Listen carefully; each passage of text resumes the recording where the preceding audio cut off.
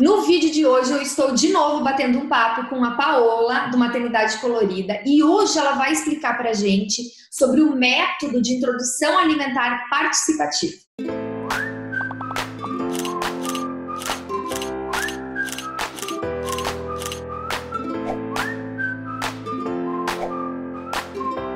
Oi, Paola, tudo bem? Oi, Xi, tudo bem? Oi, gente. Paola, que delícia essa nossa mini websérie, né? Ela começou prevista para quatro vídeos, esse já é o quarto que a gente está gravando, os demais já estão no ar, mas, gente, nada impede que essa série continue. Então, eu já deixo até o convite aqui para vocês, quem tiver dúvidas sobre introdução alimentar ou sobre alimentação da criança em qualquer idade, deixa aqui nos comentários.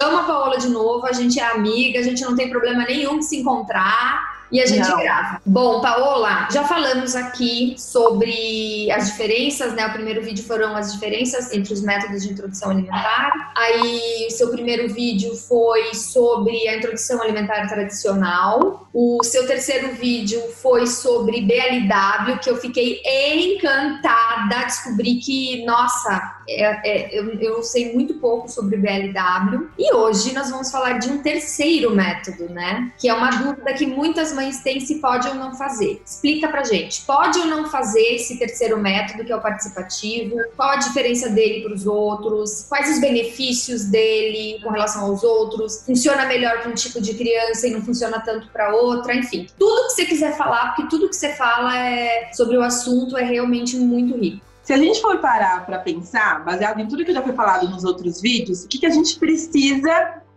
ter como mente, como, como base da alimentação infantil? O respeito pelo bebê e permitir a autonomia dele. Aí entra o medo e a ansiedade do adulto. Então esse método é a junção de tudo que a gente precisava para respeitar e permitir a autonomia e fazer com que o bebê, que o adulto fique mais tranquilo e sem medo. Então o que, que é o método participativo? É a gente mesclar a introdução alimentar tradicional com a introdução alimentar BLW. Como que a gente faz isso? A gente faz a, a, a alimentação do bebê amassadinha no garfo, vai evoluir resistência, mas naquele pratinho a gente também tem pedaços grandes para o bebê te sinalizar como ele quer comer melhor. Então, ao mesmo tempo que você está oferecendo de colherzinha, respeitando a aceitação do bebê, ele também está tendo a liberdade de comer com a mãozinha e te mostrar como ele quer ser alimentado, ele está conseguindo é, usar a autonomia dele. Então, vamos supor que o almoço e o jantar, você quer dar o arrozinho, o feijãozinho, a carninha, tudo na maneira mais tradicional, lembrando sempre separadinho do outro, amassado no garfo, jamais liquidificado, você pode fazer com que as frutas ele pegue com a mãozinha.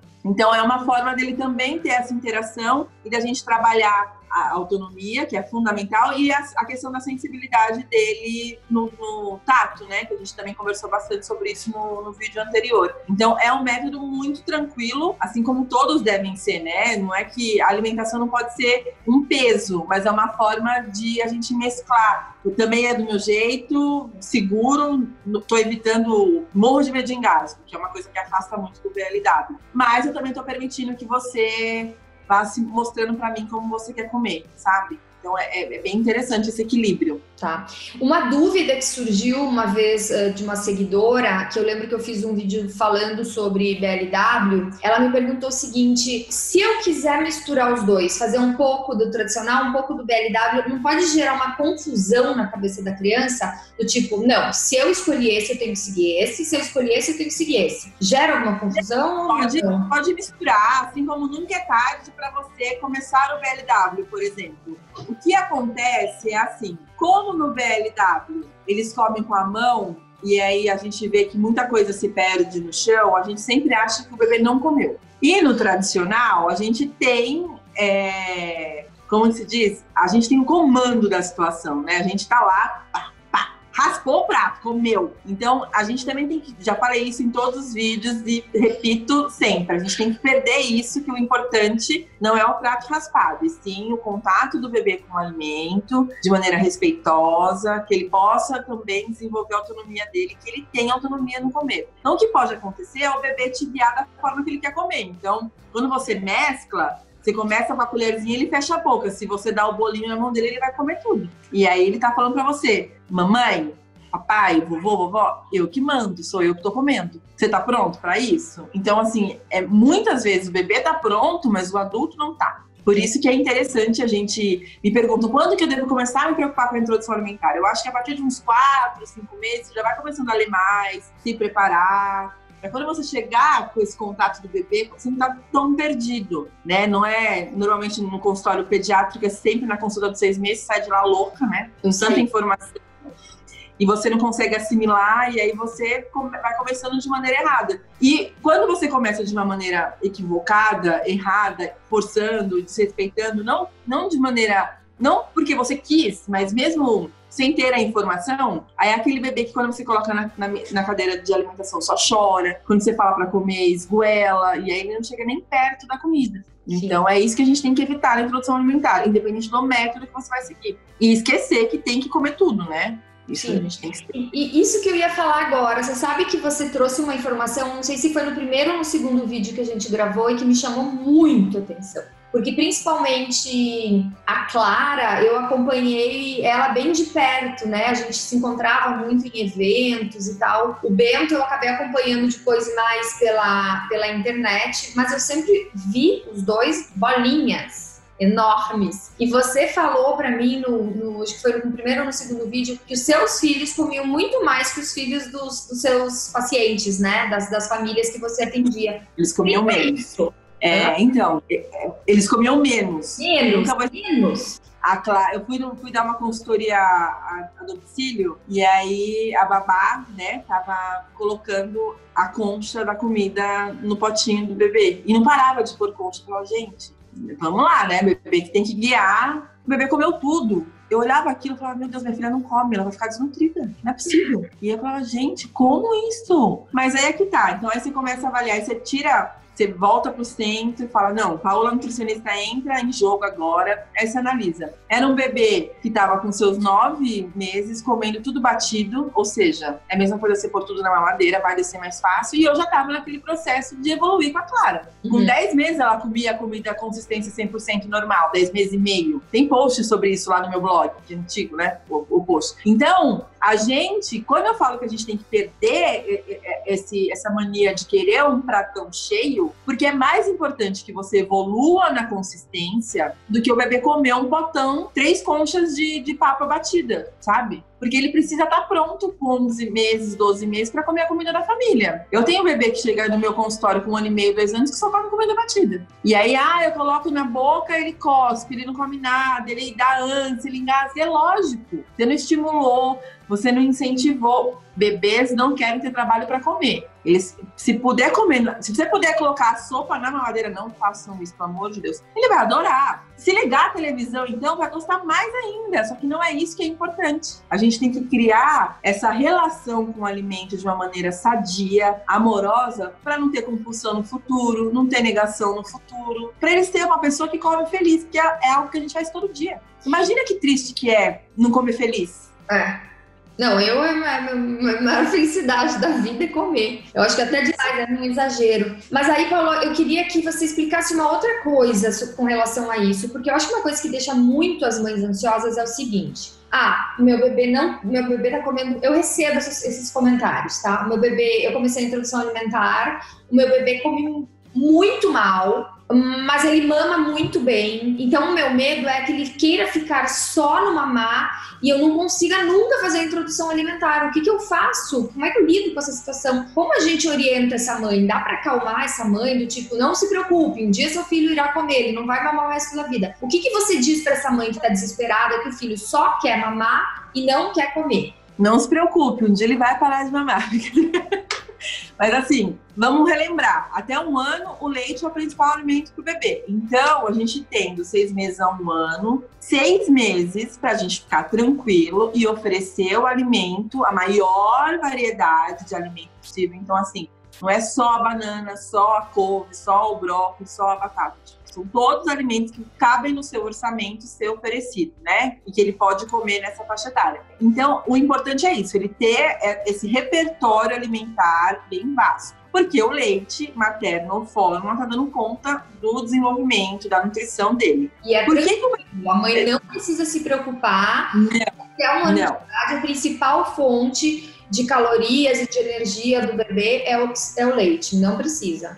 Não. E aí, o que, que a gente tem que fazer nesses seis meses? A gente tem que fazer com que ele coma feliz. Como que ele vai comer feliz? Você respeitando a boquinha fechada dele, porque às vezes ele come uma colher só e é o que ele quer, mas ele já teve contato com o alimento. A gente precisa que ele tenha esse contato com esse alimento. E no vídeo anterior eu, eu comentei isso. Ele vai começar a mostrar um interesse maior, aumentar a quantidade, engolir de fato o alimento lá pelos seus nove, nove meses e meio. Então, às vezes eu recebo comentário até em consultório comecei a introdução alimentar, meu bebê tem faz três semanas, ele não aceita nada. É normal que não aceite nada. Do tempo que ele é vivo, faz 25 dias que ele tá comendo algo sólido. Então, assim, ele, ele não precisa entender. Da mesma forma que ele demora para virar, que ele vai começar a engatinhar com tal idade, que ele vai começar a andar com não sei quantos meses. O comer também é assim, é um processo que faz parte do desenvolvimento dele. Então, a gente estando tranquilo, a gente estando calmo e estando consciente da qualidade do que a gente está ofertando para esse bebê comer, a consistência correta, evoluindo, né? Fazendo um passinho a mais. Igual aquela história de a gente colocar o bebê de barriga para baixo para ele começar a treinar ou ficar durinho, a gente tem que fazer isso com a consistência do alimento. Ele vai reclamar, ele vai chiar, e a gente vai de maneira respeitosa, assim, olha o papá, olha que gostoso, vamos comer, a batatinha amassada, é o, a cenourinha, a carninha, e ele vai mostrando esse interesse. Vai chegar lá perto dos seus 10, 11 meses, ele já vai apontar o que quer comer para você. Só que é um processo. Não adianta a gente ficar desesperado na segunda, terceira, quarta semana porque ele não tá comendo nada. Tá. Faz 30 dias, dentro de todos os dias que ele já é vivo, fora da sua barriga, que ele começou a comer. Então é normal, faz parte do processo. Você sabe que eu fiz uh, duas introduções alimentares, né? A do Léo e a do Caê. Uh, e hoje, eu avaliando tudo que você já me explicou sobre, sobre os métodos, eu acho que se eu tivesse um terceiro filho, eu optaria pela, por essa, esse método participativo. Eu daria a primeiro porque eu, eu, eu, sou um pouco controladora, então eu ia sentir aquele impulso de dar uma a colherada, mas ao mesmo tempo eu também acho super interessante essa coisa do bebê pegar, mexer, experimentar. Então, o que, que é a minha dúvida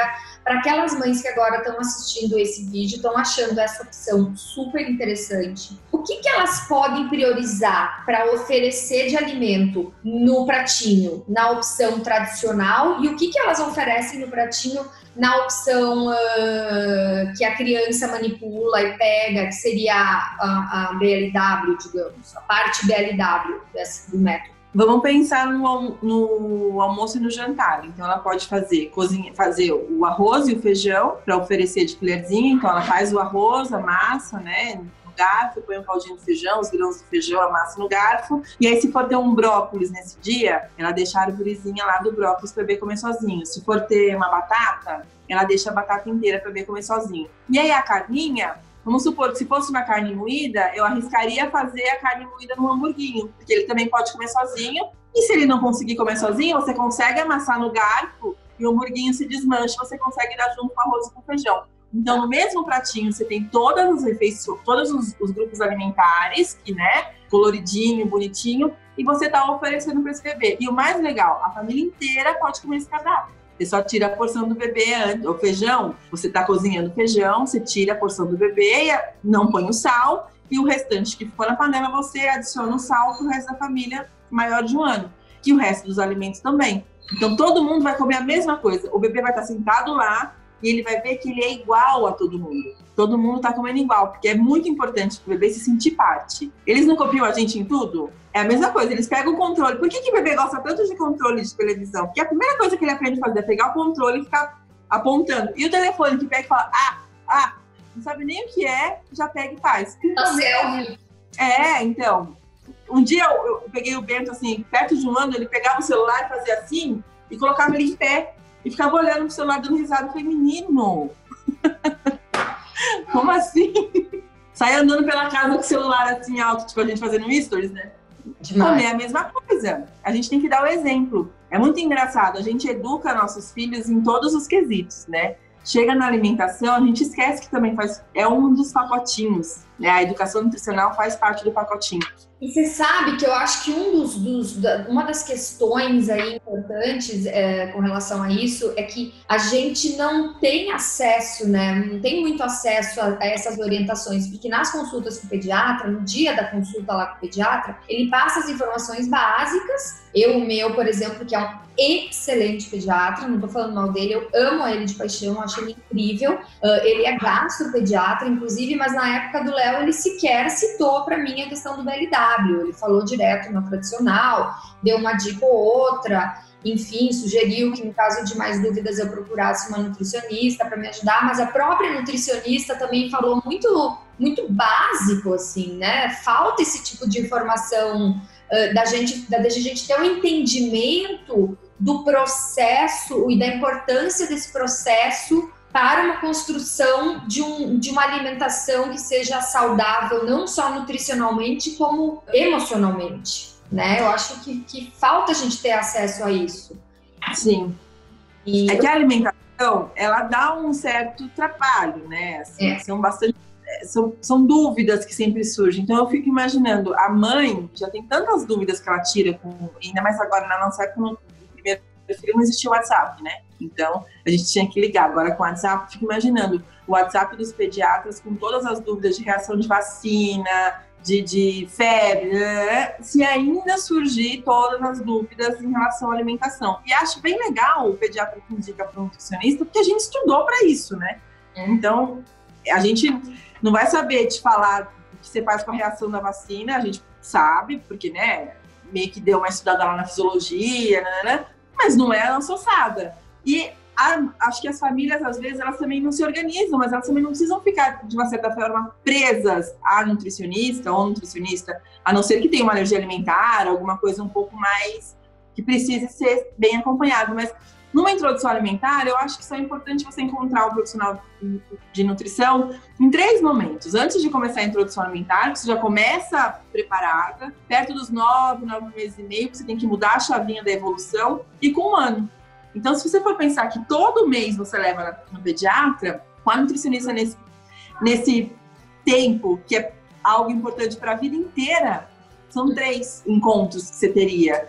Então, é algo que a gente também tem que. Eu sinto que às vezes a gente acha que tudo vai se resolver, ou que a gente não dá. Não que não dá atenção, mas a gente não consegue enxergar algumas alguns detalhes que o bebê está mostrando para a gente do porquê não está fluindo tão legal. Então é isso que eu acho que às vezes vale a pena a gente ter esse, esse contato e ter esse conteúdo, porque eles comem, a gente que acha que não.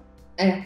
E Paula, deixa eu, te, deixa eu te perguntar uma coisa. Eu já acompanho o seu trabalho desde que o Léo nasceu, ele e a Clara, eles têm um mês de diferença, um mês e pouquinho. Então a gente sempre se encontrou muito, a gente troca experiência, a gente trabalha na mesma área e eu gosto muito do seu conteúdo. Mas eu sei que além de você produzir conteúdo digital, você é nutricionista, você trabalha com isso. Que tipo de serviço você presta? Ah, até para essa mãe que está ouvindo a gente agora, eu dizer assim, poxa, tô, tô adorando essas informações, eu preciso aprender mais com ela. Que outros serviços você tem que podem orientar essa mãe? Porque às vezes a pessoa pessoa não sabe. Por exemplo, eu não sabia que seria importante. Eu fiz uma consulta só com seis meses com uma nutricionista na época. Eu não sabia que seria importante de novo aos nove, de novo aos doze. Quais que serviços você tem hoje, uh, soluções que podem ajudar essa mãe que ou que quer se preparar antes da introdução alimentar ou que está passando por um problema de, de introdução alimentar? Como, como é que se pode ajudar ela? E eu tô fazendo essa pergunta para ela porque eu confio no trabalho dela. Além da gente ser amiga,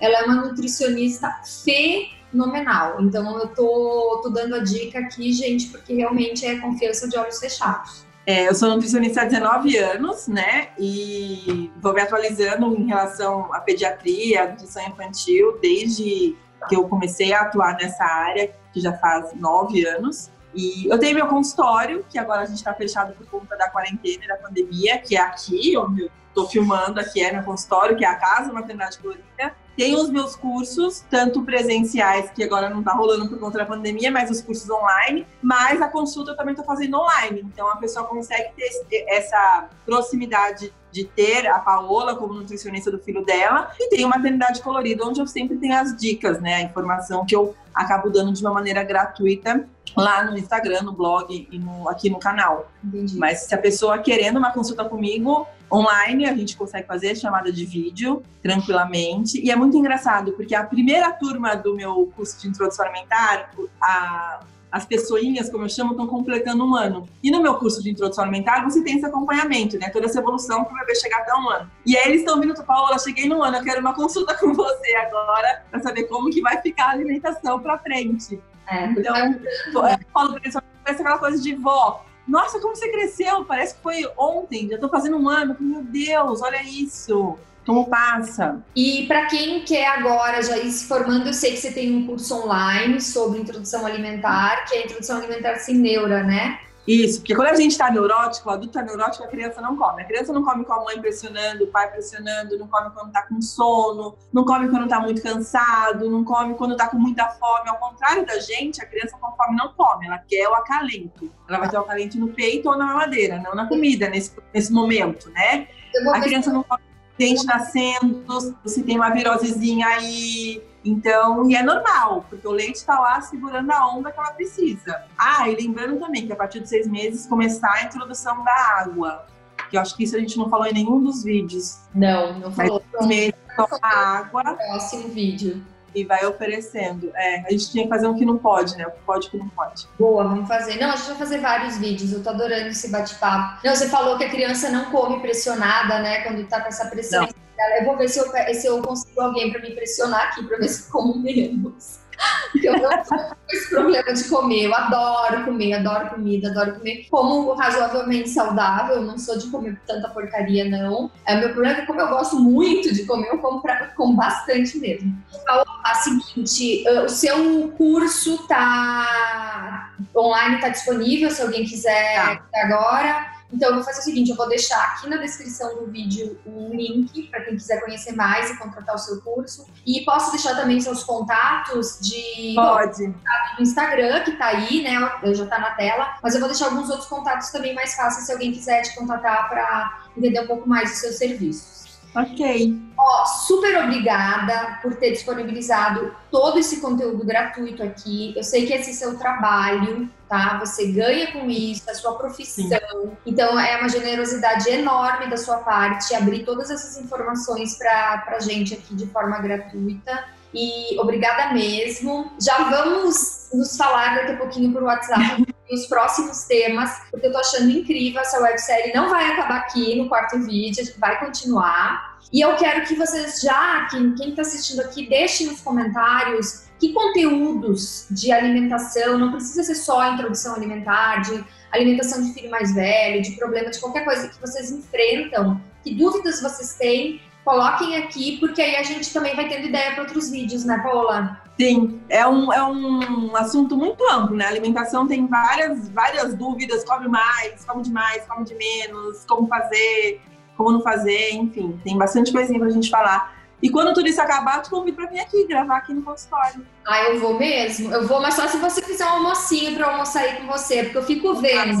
Almoço e um pãozinho caseiro pra você comer recheado. É, é, cara, você não tem noção. Eu vou abrindo, eu vou olhando as fotos do seu Instagram e eu, eu tenho, eu tenho um misto assim de prazer e revolta ao mesmo tempo.